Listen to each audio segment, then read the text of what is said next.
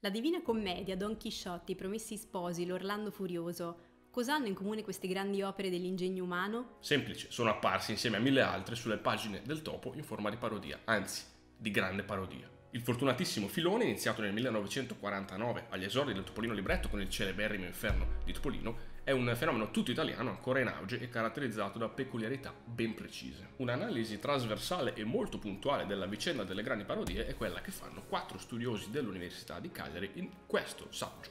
Le grandi parodie Disney, ovvero i classici fra le nuvole, edito da NPE. Il volume imbastisce quella che è una vera e propria critica letteraria al filone, e analizza ad esempio la duttilità dei vari personaggi da Paperino a Topolino a Paperone nel calarsi nei panni dei protagonisti delle parodie. Viene ricostruita la vicenda iniziale delle parodie, quando tra fine anni 40 e metà anni 50 Guido Martina battezzò il genere. Ecco, il genere, si può parlare di genere? O è meglio in questo caso parlare di generi? Anche la risposta a questa domanda sulla fisionomia letteraria delle grandi parodie viene indagata nel saggio. Così come è presentata ad esempio la differenza tra parodie con cornice introdotte da un sogno, un racconto, un ricordo, un incantesimo come il Paperin Furioso, parodie in costume vere e proprie come i Promessi Paperi, o vicende in cui i nostri beniamini sono esattamente loro stessi nel loro consueto tempo e spazio, ma la trama è palesemente ispirata a un'opera letteraria come la Paperopoli liberata. Questi e molti altri sono gli spunti che il volume lancia, sempre sospeso tra la rigorosa analisi accademica e l'affettuoso omaggio di veri appassionati di paperi e topi quali gli autori sono.